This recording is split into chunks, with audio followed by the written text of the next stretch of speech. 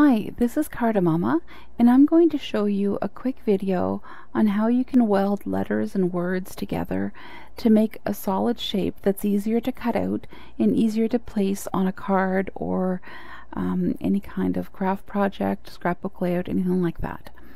So I'm going to start with a sentence that I typed out here. Santa is on his way, and he is.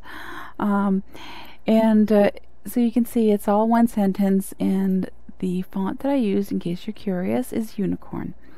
Now what I want to do is weld it together so that instead of having individual letters cut out, it's going to be all one word here and all one word. So I'm going to have five words. And I don't want to be fussy with having to glue back on the dots on the I or the uppercase S and trying to match that up with the word. I want everything to, to be like individual words.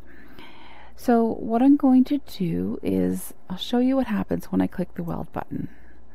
So when I weld it, it takes any of the shapes that were overlapping and it makes them combine with the shape next to it. So you can see here the A and the Y were overlapping and they combined to make one shape. But the W itself wasn't touching. The dots obviously weren't touching and the uppercase S wasn't touching so it's a separate shape. But I want the I to the dot on the I to be connected and I want the W to be connected. So there's a few different ways that I can do that. So I'm going to undo. One way that you can do it is by on the text style uh, pane you can use the character spacing slider. So if I slide it over it's going to increase the spacing and if I slide it back to the left it's going to decrease the spacing. So I can decrease it until I see that the W is now touching the A. But it also moved all the other letters, and I don't want them all to be that close together. So I'm going to return this back to 100%, which is what it was, and I'll show you a different way to connect the W to the AY. So let's re-weld, and now I'm going to just zoom in, and it's so easy.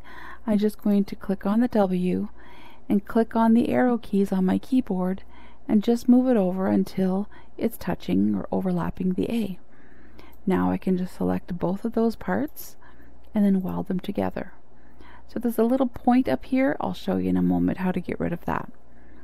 The next thing I'm going to work on is the letter I, and there's two of them, so I want to see them both. Okay.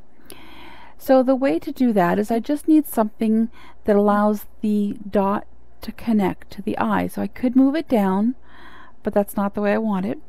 I want it to appear like it is um, the letter I with a dot on top. So I'm just going to go to my rectangle tool and draw a small rectangle or square just below. And to make sure that it's centered, I'm just going to highlight the dot and the rectangle, go to my align window, and then align center. So it aligns the inside shape to the larger shape, okay? So I'm also going to take a copy of this. So copy, and then I'll paste this one up here. And then select the two, align them. And now I can do like I did with the W, just select all of these shapes together, weld, and then all of sh these shapes together and weld. Okay, so that leaves us with the standalone S over here. And the quick way to do that is to, it's similar to the way I got the dot on the I connected to the I. But what I'm going to do instead of drawing a rectangle is I'm going to borrow a piece from an existing uh, word on here. So what I'm going to do actually do is use a tail at the end of the letter A here and, uh, and, and I'll show you how I do that. So I'm just going to take this Santa and I'm going to replicate it or duplicate it. You could copy and paste too. I'll just move it above, take the knife tool, just cut a straight line. Now I can delete that don't need it anymore. And just take this little tail over here, place it where it looks kind of natural because it flows with the with the word and now highlight it all together and weld it and perfect And the only last thing I wanted to do is to fix this little point right here.